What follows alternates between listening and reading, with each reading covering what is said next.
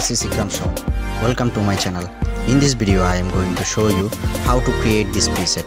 Edit your image and give a cool look for your image. You can use this preset both in your mobile and PC preset download link given in the description. One more thing if you are new in my channel do subscribe ring the bell icon for further update. Now let's get started with lightroom.